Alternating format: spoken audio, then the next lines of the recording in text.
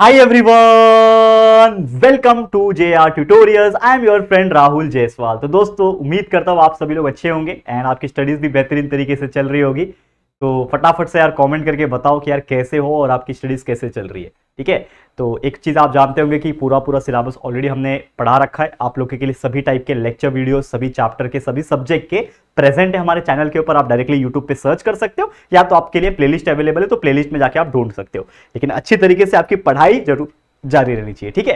तो जैसा कि आप जानते हैं कि सब चीज़ तो हमने पढ़ा रखा है, लेकिन प्रॉब्लम सेट हमारा बाकी रह गया था तो वो भी ऑलमोस्ट देखा जाए तो 80 90 परसेंट कंप्लीट हो चुका है, क्योंकि एक और बेहतरीन चैप्टर का प्रॉब्लम सेट फिर से मैं लेकर आ गया हूँ, और ऑलरेडी जस्ट कुछ ही दिन पहले हमने मैथ्स वन यानी अलजेबरा का पांचवा चैप्टर का भी प्रॉब्लम सेट कंप्लीट कर दिया, यानी कि सिर्फ़ एक चैप्टर का प्रॉब्लम सेट वहाँ पे रह गया है, और यहाँ पे भी आज हम स्टार्ट करने जा रहे हैं एक और नया प्रॉब्लम सेट वो भी मैथ्स टू यानी ज्योमेट्री सब्जेक्ट का, जिसका नाम है प्रॉब्लम सेट नंबर फाइव और वो चैप्टर कौन सा है? चैप्टर है दोस्तों कोऑर्डिनेट ज्योमेट्री जी हाँ दोस्तों one of the most beautiful chapter ये पूरा चैप्टर के लेक्चर वीडियोस ऑलरेडी प्रेजेंट है। अगर आपको कोई भी चीज़ें पढ़नी है, चाहे वो डिस्टेंस फॉर्मूला हो स्लोप हो, या फिर सेक्शन फॉर्मूला हो मिड पॉइंट फॉर्मूला हो सेंट्रॉइड हो, कोई भी चीज़, सभी टॉपिक्स हमने पढ़ा रखे हैं। यूट्यूब पे सर्च करोगे, हमारे चैनल का नाम डाल के आपको मिल जाएगा। पढ़ाई करते रहना। Concept is very important practice set के लेक्चर वीडियो सभी चीज़ अवेलेबल है, वो पढ़ाई करते रहना। प्रॉब्लम सेट लेकर आया हूँ तो इसमें हम लोग आराम से हर दिन, जैसे कि आप जानते हो कि जब तक चैप्टर कंप्लीट नहीं होगा प्रॉब्लम सेट हम लोग दो दो तीन दिन क्वेश्चंस कराते रहेंगे डेली बेसिस पे। तो आज लेकर आया question number one and two फटाफट से इसको देखते हैं कि कैसे टाइप के क्वेश्चन होते हैं। जो लोग के लिए मतलब ये चैप्टर नया है बिल्कुल, यानी उन्होंने अगर लेक्चर वीडियोस नहीं देखे, जिन्होंने प्रैक्टिस सेट के वीडियोस नहीं देखे तो पहले वो ज़रूर देखना, तभी आपको ये चीज़ समझ में आएगा। तो पहले कंसेप्ट क्लियर कर लो, फिर ये प्रॉब्लम सेट का वीडियो देखना, ठीक है? साथ ही में इंस्टाग्राम अगर आप यूज़ करते हो तो फॉलो कर सकते हो मेरे दोनों आईडी पे। एक तो पर्सनल वाला है, दूसरा ऑब्वियसली हमारे ऑफिशियल जे ट्यूटोरियल का। और एप्लीकेशन पे ज़रूर से आ जाना। बहुत सारे बच्चे ने एप्लीकेशन अभी तक डाउनलोड नहीं किया। प्लीज़ यहाँ पे आप सपोर्ट हमें कीजिए, क्योंकि एक अच्छा एक बार जब बच्चे जमा हो जाएँगे तो बहुत सारी चीज़ें हम यहाँ पे आपको प्रोवाइड करेंगे। साथ ही में एक पेड बैच तो चल ही रहा है। जो एक पेड बैच है जे ट्यूटोरियल्स एप्लीकेशन पे, जिसका नाम है टेंथ स्टैंडर्ड का विश्वास बैच जिसमें साइंस मैथ्स एंड एस तीनों एक साथ पढ़ाया जा रहा है। नए वीडियो से, फ्रेश वीडियो से तो ज़रूर से देखना। कुछ प्राइस है उसका मिनिमम प्राइस तो जाके देखो। अगर आपको अच्छा लगेगा अफोर्डेबल लगेगा क्वालिटी वीडियो लगेंगे तो जाके ज़रूर से ज्वाइन कर लेना। लेकिन एक बार विज़िट जाके ज़रूर कर लो, ठीक है? चलिए लिंक डिस्क्रिप्शन में दिया हुआ है, या फिर डायरेक्टली ऐप स्टोर पे, या फिर प्ले स्टोर पर सर्च करोगे जे ट्यूटोरियल्स तो आपको मिल जाएँगे। वीडियो की शुरुआत करें, चलिए। तो सबसे पहले जैसे मैंने बोला कि आज कुछ क्वेश्चन हमें सॉल्व करने तो पहला क्वेश्चन जो स्क्रीन के ऊपर आप देख पा रहे होंगे, वो क्या बोल रहा है? Question number one choose the correct option यानी कि आपको क्या चूज़ करना है? करेक्ट ऑप्शन यानी कि ये क्वेश्चन ऐसा होता है जो जनरली आपके क्वेश्चन पेपर में, जो आपके एग्ज़ाम्स होते, चाहे मैथ्स हो, चाहे मैथ्स टू हो, उसके क्वेश्चन नंबर वन ए में पूछे जाते हैं। Question number one A generally क्या होता है कि आपको एमसीक्यूज टाइप के क्वेश्चन दिया होता है, जिसमें एक क्वेश्चन होता है, उसके चार ऑप्शन होते हैं। वो चार ऑप्शन में से एक सही आंसर होता है। तो वो आपको लिखना होता है। और इसके एक मार्क्स आपको मिलते हैं। तो टोटल चार क्वेश्चन आते हैं। जितने भी आपके चैप्टर से मान लो, हर एक चैप्टर में से आपको एक एक दिखने मिल जाएँगे। इसमें ऑप्शन होते हैं। तो ये आपके लिए प्लस पॉइंट है कि आपका आंसर जो भी निकलेगा, वो आप टैली कर सकते हो कि आपका सही आया कि नहीं आया। ठीक है?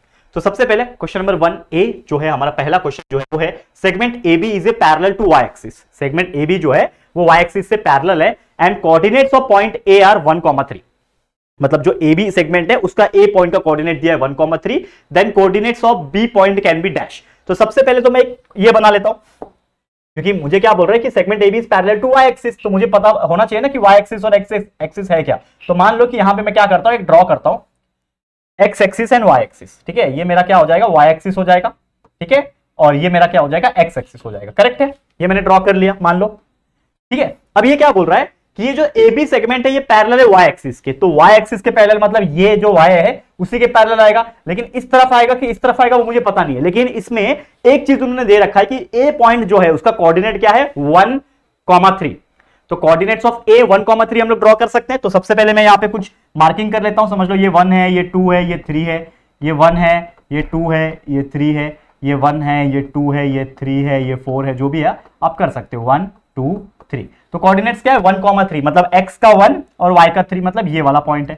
ये क्या है आपके लिए? ए पॉइंट है। समझ में आ रहा है? रफली ड्रॉ कर लो, जो कि आपको मैं थोड़ा सा दिखाने की कोशिश कर रहा हूँ, बाकी तो आप समझदार हुई तो ए पॉइंट मुझे पता है वन कॉमा थ्री तो ए पॉइंट हो गया वन कॉमा थ्री यहाँ पे आएगा। अब मुझे एक बात बता दो। क्लियर कट बताना अब मुझे पता चल गया कि ए पॉइंट इधर है और ये लाइन जो है वो पैरल बनेगा। तो ऑब्वियसली ये जो वाई एक्सिस है वाई एक्सिस के पैरेलल में ही लाइन बनेगा मतलब यहीं से लाइन बनेगा। यानी कि जो भी मेरा लाइन बनने वाला होगा, जो भी मेरा लाइन बनने वाला होगा, वो लगभग ऐसा बनेगा। स्ट्रेट ठीक है? ऐसा बनेगा। तो अब मैं अगर ऑप्शन चेक करूँ तो मेरा आंसर क्या आना चाहिए? कि मेरे को क्या पूछा है? कि then coordinates of point B is equal to question mark मतलब बी का कोऑर्डिनेट्स क्या आएँगे? तो सबसे पहली बात बी का कोऑर्डिनेट्स क्या आ सकता है? बी का कोऑर्डिनेट्स क्या आ सकता है? मान लो, इसमें चार चीज़ दिया हुआ है। Three comma one three comma one तो यानी कि एक्स का जो वैल्यू है, वो थ्री होना चाहिए। तो यहाँ पे अगर आप देखोगे, इस तरफ़ से अगर लाइन पास होकर जा रहा है तो वन और टू के बीच में ही आ रहा है। मतलब जिसका भी वैल्यू एक्स का वैल्यू थ्री दिया हुआ है, वो तो आ ही नहीं सकता। मतलब ये वाला ऑप्शन मेरा हो ही नहीं सकता, ये वाला ऑप्शन हो ही नहीं सकता। सिंपल सी बात है। ठीक है? समझ में आ रहा है कि नहीं आ रहा है? बहुत ज़्यादा इजी कंसेप्ट है यहाँ पे। क्या बोल रहा है कि ए जो है सॉरी ऑप्शन नंबर ए जो है वो थ्री कॉमा वन है। तो अगर आप देखोगे कि जहाँ पे ये जो लाइन आ रही है लाइन आ रही है, ये कहाँ से पास हो रही है? एक्स के वन और टू के बीच में से पास हो रही है। ठीक है? तो कहीं ना कहीं मेरा जो लाइन बनेगा, उसका एक्स कोऑर्डिनेट जो आएगा, वो वन के आसपास ही आएगा या तो टू के आसपास ही आएगा। तो यहाँ पे तो थ्री दिया, यहाँ पे थ्री दिया है मतलब ये तो नहीं आ सकता। यहाँ पे फाइव दिया है मतलब ये भी नहीं आ सकता। करेक्ट है? ठीक है? और सीधी सी बात है ना मतलब ये वन और टू के बीच में से पास नहीं हो रहा है वन में से ही पास हो रहा है, जो कि मैंने शायद गलती से कुछ अलग ड्रॉ किया हुआ है। ठीक है? गलती से क्या किया? अलग ड्रॉ किया हुआ है। तो आप ये देखोगे, ये मैंने वन पे ड्रॉ किया है ना ये ये वन का पॉइंट था, ठीक है? ये एक्चुअल में वन से पास होगा, देखो मैंने गलत ड्रॉ किया था, ये वन से पास होगा। मतलब मेरा एक्स का वैल्यू जहाँ पे वन होगा, वही आंसर है हमारा तो this is the answer this is the answer correct है? क्लियर बहुत सिंपल सा इसका डेफिनेशन है, जो कि हमने आराम से इसको सॉल्व करके दिखा दिया मतलब एक चीज़ क्लियर बोल रखा था ना कि नहीं बोल रखा था? क्या रखा था बोल के? कि आपको एक चीज़ पता है कि y कहा गया? ये जो लाइन मैंने बनाया, ये इधर ही बनेगा। ये लाइन कहाँ से पास हो रहा है? वन के लाइन से पास होकर जा रहा है। मतलब मेरा x का जो कोऑर्डिनेट है, वो वन आएगा। तो का कोऑर्डिनेट किधर है यहाँ पे? वन ठीक है? यही है ना? X के कोऑर्डिनेट में और कहीं वन है क्या? नहीं है। मतलब यही हमारा आंसर हो गया। तो इस तरीके से आपको लॉजिक लगाना है, दिमाग लगाना है। बाकी हर एक चीज़ आपके लिए सिंपल है और कुछ भी परेशानी आप लोग को नहीं होगी। ठीक है? क्लियर है? तो ये था आपके लिए सबसे पहला क्वेश्चन सेकंड क्वेश्चन पे चलते हैं। यहाँ पे अगर आप ध्यान दोगे, ध्यान देना सेकंड क्वेश्चन पे। देखो, क्या बोल रहा है? Out of the following point dash lies to the right of the origin on X axis ठीक है? Point out of the following point lie point dash मतलब कौन सा पॉइंट आएगा इसमें से? जो right of the origin of the X axis तो मान लो यहाँ पे भी मैं एक कोऑर्डिनेट सिस्टम बनाता हूँ। ठीक है? ये हो गया आपके लिए वाई एक्सिस ये एक्स एक्सिस हो गया। ठीक है? एक्स एक्सिस और ये वाई एक्सिस, ठीक है ना? माइनस होता है। ठीक है? यहाँ पे आ गया वन, सॉरी, ये वन, टू, थ्री, ये फोर, ये वन, टू, थ्री, फोर। यहाँ पे minus one, minus two, minus three, minus four. यहाँ पे minus one, minus two, minus three, minus four. ठीक है? ये बीच में जो पॉइंट होगा, ये क्या होगा? Zero comma zero. बीच में जो पॉइंट होता है वो क्या होता है? ओरिजिन ज़ीरो कॉमा ज़ीरो तो हमें क्या बोल रहा है? इसमें से कौन सा पॉइंट है जो उस ओरिजिन के राइट में आएगा? ठीक है? तो राइट में आएगा, इसका मतलब क्या होगा? इस ओरिजिन के राइट में आएगा, वो भी किस पे? एक्स एक्सिस पे आएगा. एक्स एक्सिस पे आएगा राइट में, इसका मतलब पॉजिटिव होएगा. पॉजिटिव होगा. तो यहाँ पे सभी चीज़ देखो पॉजिटिव है क्या? अगर आप देखोगे तो ये पॉजिटिव नहीं है मतलब ये हमारा आंसर नहीं हो सकता. ठीक है? अगर आप देखोगे point dash lies on the right of the origin right of the origin मतलब एक्स का वैल्यू जो है, वो कुछ आना चाहिए मतलब वन टू आना चाहिए मतलब एक्स का वैल्यू या तो वन होना चाहिए तो टू होना चाहिए, कुछ तो होना चाहिए। मतलब एक्स का वैल्यू ज़ीरो नहीं हो सकता, ये भी चला गया ऑप्शन ठीक है? उसके बाद अगर आप देखोगे राइट टू द ओरिजिन बोला है तो कहीं ना कहीं एक्स का जो वैल्यू है, वो वन आ सकता है टू आता है थ्री आता है। लेकिन जब वो एक्स के ही लाइन पे ही आएगा तो वाई का वैल्यू ज़ीरो होगा। तो जिसमें वाई का वैल्यू ज़ीरो है, वही आपका आंसर है। तो वाई का वैल्यू ज़ीरो किसमें है? इसमें है मतलब option D is my correct answer क्योंकि y का वैल्यू जो है, इसमें ज़ीरो है। क्योंकि अगर ये कोई भी पॉइंट जब x के लाइन पे ही होगा, मान लो इधर से x के लाइन पे ही होगा तो यहाँ पे अगर वन पे भी रहा होगा, मान लो वन पे रहा होगा तो यहाँ पे y का वैल्यू क्या है? ज़ीरो ठीक है? तो y का वैल्यू ज़ीरो मतलब x का वैल्यू टू y का value zero answer correct simple है। लॉजिक की बात है। अगर आपने कंसेप्ट सीखा हुआ है, हमारे जो लेक्चर्स हमने अपलोड किए हुए पर अगर आपने देखा हुआ है, आपको ये सब चीज़ पता है तो आपको ये सब चीज़ बहुत ईजी लग रहा होगा दोस्तों। क्लियर है? चलो, चलते आगे। नेक्स्ट क्वेश्चन क्या बोल रहा है? Distance of point minus three comma four देखो इसको ध्यान से, क्या ये? क्वेश्चन नंबर थ्री समझ में आ रहा है कि नहीं आ रहा है? बहुत इजी क्वेश्चन है ये। ठीक है? Distance of point minus three comma four from the origin is dash ठीक है? मान लो, मैंने बना दिया ये। ठीक है? माइनस थ्री कॉमा फोर है। मतलब ये वन टू थ्री और माइनस थ्री कॉमा फोर कहाँ होगा? ये minus one minus two minus three minus four ठीक है? और ये वन टू थ्री फोर ठीक है? ये हो गया आपका माइनस थ्री और ये फोर मतलब ये वाला पॉइंट ये हो गया आपका माइनस थ्री कॉमा फोर ठीक है? माइनस थ्री कॉमा फोर ये वाला पॉइंट है और ओरिजिन ये वाला पॉइंट है. मतलब यहाँ से लेके यहाँ तक का आपको डिस्टेंस निकालना है. इतना डिस्टेंस आपको निकालना है. और ऑब्वियसली आपको पता है कि जब आपको डिस्टेंस निकालना है तो we have the formula distance formula ठीक है? तो इसको हम लोग यहाँ पे मिटाते हैं। मतलब इसकी, ये आपको समझाने के लिए था, इसकी ज़रूरत नहीं हम लोग को। सीधा हम लोग डिस्टेंस फॉर्मूला लगाएँगे, ठीक है? तो फिर तो कोऑर्डिनेट्स ठीक है? पॉइंट समझ लो इसका नाम है ए ए पॉइंट का है माइनस थ्री कॉमा फोर और जिसपे ओरिजिन है ओरिजिन का है ओ पॉइंट और इसका ज़ीरो कॉमा ज़ीरो होगा, ठीक है? तो ये आपके लिए होगा एक्स वन ये वाई वन ये होगा आपके लिए एक्स टू और ये वाई टू ठीक है? फॉर्मूला क्या होता है डिस्टेंस का? क्या है formula X two minus X one the whole square plus Y two minus Y one the whole square बच्चे बच्चे को पता है फॉर्मूला सबने आपने पढ़ा होगा हमारे लेक्चर वीडियो एक्स टू कितना है? ज़ीरो माइनस एक्स वन कितना है? माइनस थ्री मतलब ज़ीरो प्लस थ्री हो गया। इसका square plus Y two minus Y one Y one Y two कितना है? ज़ीरो माइनस वाई वन कितना है? फोर दी होल स्क्वायर ठीक है? सॉल्व कर लो, आपका आंसर आ जाएगा। तो D will be equal to what zero plus three यानी कि थ्री थ्री का स्क्वायर होता है nine plus zero minus four is minus four minus four का स्क्वायर इज़ सिक्सटीन। यानी कि आपका आंसर कितना आएगा? D is equal to under root of nine plus sixteen is twenty five तो D is equal to under root of twenty five तो therefore D is equal to five unit centimetre दिया है क्या? कुछ नहीं दिया तो डी का वैल्यू आ गया फाइव यूनिट मतलब आपका आंसर क्या आ गया? फाइव ऑप्शन में फाइव है क्या? बिल्कुल है। Option number C is the correct answer बस डिस्टेंस ही तो निकालना था। इतना इजी है। तो by using the distance formula we had calculated the distance of A and O यानी कि जो ओरिजिन है उसका, उसको हमने आराम से कैलकुलेट कर दिया। क्लियर समझ में आ गया? तो ऐसे क्वेश्चंस काफ़ी ज़्यादा पूछे जाते हैं एग्ज़ाम में कंफ्यूज करने के लिए, लेकिन आपको बिल्कुल अच्छी तरीके से ध्यान देके समझना है, अच्छे से आपको समझ में आ जाएगा। ठीक है? चलो नेक्स्ट क्वेश्चन है। क्या बोल रहे हैं? A line makes an angle of thirty degree ठीक है? एक लाइन है it makes an angle of thirty degree with the positive direction of X axis ठीक है? एक्स एक्सिस का पॉजिटिव डायरेक्शन में so the slope of the line slope आपको निकालना है। ठीक है? आपको एक स्लोप का फॉर्मूला पता है that is nothing but slope M is equal to tan theta याद है? एम इज़ इक्वल टू क्या है? टेन थीटा फॉर्मूला है। थीटा का वैल्यू पता ही है आपको। कितना है? कहाँ गया? थर्टी डिग्री दिया हुआ है देखो थर्टी डिग्री तो टेन थर्टी का वैल्यू निकाल लो। टेन थर्टी डिग्री क्या होता है? नहीं याद है? कोई बात नहीं। अगर आपको टेन का थर्टी का tan forty tan forty five का टेन सिक्सटी का वैल्यू नहीं याद है तो एक फॉर्मूला तो हम जानते हैं टेन थीटा का मतलब टेन थीटा का मतलब क्या होता है? Sine theta by cos theta तो sine thirty by cos thirty ये आपको पता ही है। ठीक है? साइन थर्टी का वैल्यू क्या होता है? वन बाई टू ठीक है? कॉस थर्टी का कितना वैल्यू होता है? रूट थ्री बाई टू ठीक है? ये टू ये टू कैंसल कितना बचा? One by root three this is your answer मतलब टेन थर्टी का वैल्यू कितना होता है? वन बाय रूट थ्री आ गया answer one by root three है इसमें. बिल्कुल है। Option number C is the correct answer ठीक है? तो ऑप्शन नंबर सी हमारा क्या हो गया दोस्तों? करेक्ट आंसर हो गया कि जो स्लोप है, देखो स्लोप जनरली क्या होता है? दो कैटेगरी से होता है। एक तो आपको दोनों का कोऑर्डिनेट्स दिया होगा।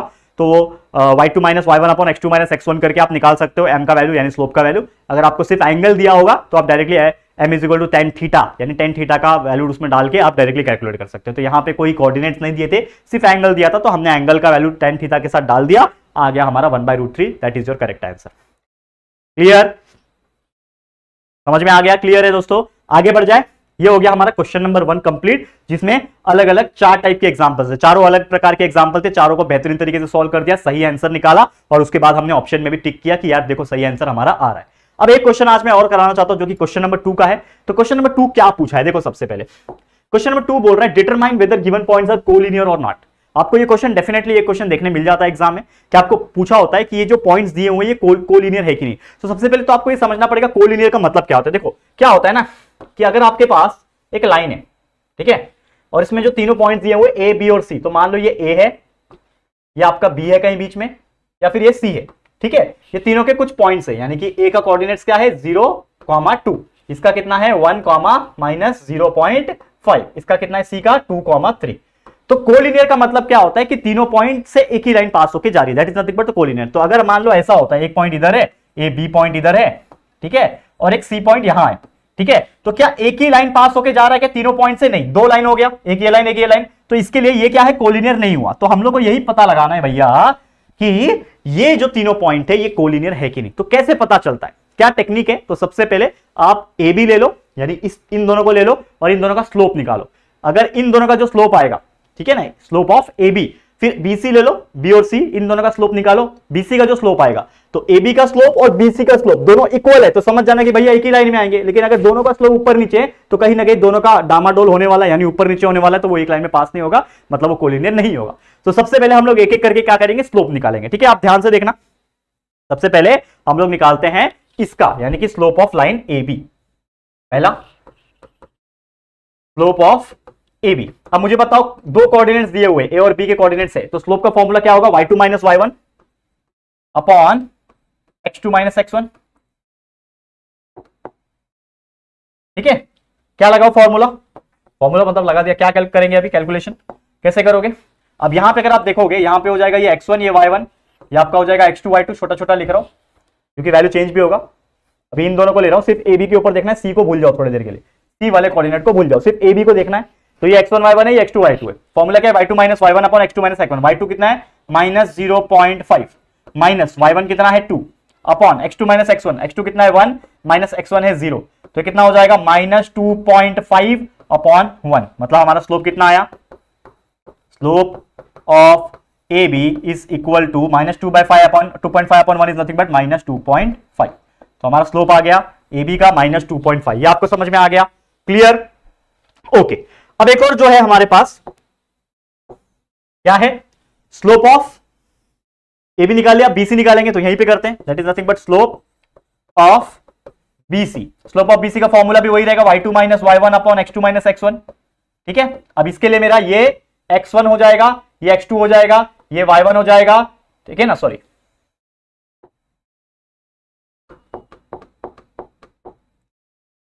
ये एक्स वन हो गया, ये एक सेकेंड ये आपका y1 हो गया, ये x2 हो गया, ये y2 हो गया. ठीक है ना? वैल्यू चेंज हो गया. अब इसको भूल जाना है ए को, क्योंकि BC देख रहे हो आप BC का निकाल रहे हो. X1 y1 x2 y2 formula क्या है? Y2 minus y1 upon x2 minus x1 चलो वैल्यू डालो इसमें फटाफट से. क्या है? Y2 माइनस y1 y2 कितना है? 3 माइनस y1 कितना है? Y1 कितना है? माइनस 0.5 यानी प्लस 0.5 हो जाएगा. ठीक है? Whole divided by whole divided by अगर आप देखोगे हाँ डायरेक्ट हो जाएगा ना? सॉरी y2 माइनस y1 0.5 हाँ whole divided by X two minus X one ना? हाँ तो ये हो जाएगा आपका three minus zero point five, ये हो जाएगा आपका टू माइनस वन बराबर? X two minus X one two minus one तो ये कितना हो जाएगा? बताओ three minus zero point five nothing but two point five यहाँ पे हो जाएगा वन देख पा रहे हो आप लोग, बहुत इजी है। ये भी आप देख पा रहे हो क्लियर क्लियर है कि नहीं दोस्तों? क्लियर है? टू कॉमा थ्री थ्री का value two comma minus three यहाँ पे गड़बड़ किया है हमने। टू कॉमा माइनस थ्री है। ठीक है ना? ये पूरा चेंज होएगा। देखो ये टू कॉमा माइनस थ्री है। मैंने छो, छोटा सा मिस्टेक क्वेश्चन देखने के समय कर दी थी। ए का वैल्यू ज़ीरो टू है। B minus one upon minus five two minus three बराबर। अब बराबर है चलो अब अब कैलकुलेट करते अब कैलकुलेट करते हैं। थोड़ा सा हमारा क्या मिस्टेक हो गया था दोस्तों? यहाँ पे टू कॉमा माइनस थ्री मैंने सिर्फ़ थ्री लिखा देखो, एक माइनस के साइन की वजह से भी मिस्टेक हो जाती है। तो कभी कभी क्वेश्चन जब आप क्वेश्चन पेपर से देख के अपने आंसर शीट में लिखोगे तो बिल्कुल ध्यान से देखना। छोटी छोटी मिस्टेक की वजह से पूरा रॉन्ग हो सकता है। तो सेम वाई टू कितना है? वाई टू है माइनस थ्री बराबर? देखो, यहाँ पे। ये आपके लिए वाई टू है, ये माइनस थ्री है। बराबर? ये क्या है आपके लिए? माइनस थ्री अब यहाँ पे अगर आप देखोगे, बिल्कुल ध्यान से देखना ये चीज़। क्या बोल रहा है? वाई टू माइनस थ्री है तो माइनस थ्री लिख दिया, फिर minus Y two minus Y one है ना तो वाई टू लिख दिया माइनस थ्री फिर माइनस और वाई वन कितना है? Y one minus zero point five तो लिख दो यहाँ पे minus zero point five whole divided by क्या है? X two minus X one तो एक्स टू का वैल्यू कितना है? देखो एक्स टू का वैल्यू टू है एक्स वन का वैल्यू वन है. मतलब ये टू माइनस वन डायरेक्टली आ जाएगा. तो इसका वैल्यू क्या हो जाएगा? ये minus three minus minus plus और ये ज़ीरो पॉइंट फाइव और नीचे two minus one is one तो इसका वैल्यू क्या हो जाएगा? Minus three plus zero point five is nothing but minus two point five whole divided by one यानी इसका वैल्यू आ जाएगा माइनस टू पॉइंट यानी कि जो स्लोप ऑफ़ बीसी आया देयर ये जो निकाला आपने, ये क्या निकाला? स्लोप ऑफ़ बीसी इसका वैल्यू कितना आया? माइनस टू पॉइंट फाइव आया। ठीक है? और अगर आप ध्यान से देखोगे तो स्लोप ऑफ़ ए बी भी two point minus two point five आया था, और स्लोप ऑफ़ बीसी भी क्या आ गया? माइनस टू पॉइंट फाइव आ गया। तो हम लोग क्या बोल सकते हैं? कि therefore therefore slope of A B is equal to slope of B C slope of A B जो है वो स्लोप ऑफ़ बीसी से बराबर है। तो अगर ऐसा होता है तो हम लोग क्लियरली बोल सकते हैं कि जो ए बी जो लाइन होगा, वो पैरेलल होगा किससे? बीसी से। क्योंकि अगर कोई भी दो लाइन अगर एक दूसरे को पैरेलल होगी, तभी उसके स्लोप सेम आते हैं। तो ये दोनों स्लोप सेम है। तो इसका मतलब मेरा दोनों जो लाइन होंगे, वो क्या होंगे? एक दूसरे को पैरल होंगे। ठीक है? और अगर ये पैरल है तो ए और बी जो है, समझ लो कि एक लाइन ये है ए बी ठीक है? एक लाइन ए बी है, एक ये है, और दूसरा लाइन है बीसी ठीक है ना? ये लाइन है बीसी ये भी एक दूसरे को पैरल है। लेकिन अगर आप देखोगे तो इन दोनों में पॉइंट बी कॉमन है। मतलब ये बी यहाँ पे जुड़ जाएगा जाके। समझ रहे हो? ये पॉइंट बी जो है, वो क्या हो जाएगा? जुड़ जाएगा। तो ये जो पॉइंट है, ये कहीं ना कहीं यही पॉइंट है।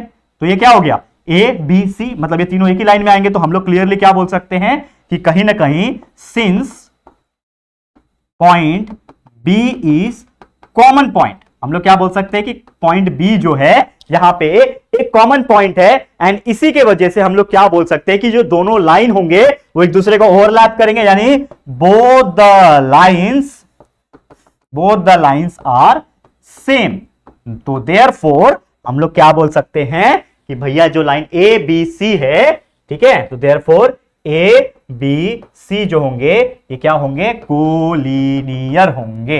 एंड हैंस प्रूव ये हमने प्रूव करके दिखा दिया. तो they are collinear just because because A B और बी सी दोनों के बी का कॉमन पॉइंट है तो दोनों एक दूसरे को जुड़ेंगे और एबीसी बन रहा है इस तरीके से। तो ऑब्वियसली तीनों लाइन तीनों पॉइंट से एक ही लाइन पास हो रही है, एक ही लाइन है वो तो इसका मतलब वो क्या होंगे? कोलिनियर तो point ABC are collinear हम लोग क्लियरली बोल सकते हैं। ठीक है? क्लियर है दोस्तों तो उम्मीद करता हूँ कि आप लोगों को बहुत ही आसानी से, बहुत ही इजी तरीके से चीज़ समझ में आ गया होगा। तो बस दोस्तों, आज के लिए फिर इतना ही। जैसे मैंने बोला कि हम लोग दो दो तीन तीन क्वेश्चन ही करा रहे आराम से हमारा चैप्टर कंप्लीट करना, यानी प्रॉब्लम सेट चैप्टर के लेक्चर वीडियोस तो ऑलरेडी प्रैक्टिस सेट वाले सब चीज़ हमने पढ़ा के रखे हुए आप उसको भी देखते रहो और ये प्रॉब्लम सेट के भी लेक्चर वीडियो जो हर हर दिन डेली बेसिस पे हम पढ़ा रहे हैं, उसको भी अच्छे तरीके से देख के पढ़ाई करते रहो, ठीक है? तो चलो, आज के लिए इतना ये वीडियो आपको कैसा लगा दोस्तों, ज़रूर से कॉमेंट करके बताना। वीडियो पसंद आए तो प्लीज़ लाइक कर देना। शेयर करना अपने सभी दोस्तों के साथ और फ़र्स्ट टाइम चैनल पे आए तो फटाफट से हमारे चैनल को सब्सक्राइब कर देना और साथ ही में बेल आइकन को भी प्रेस कर देना। ठीक है दोस्तों? तो जल्दी मिलेंगे फिर एक और नई वीडियो में। तब तक के लिए thank you and good bye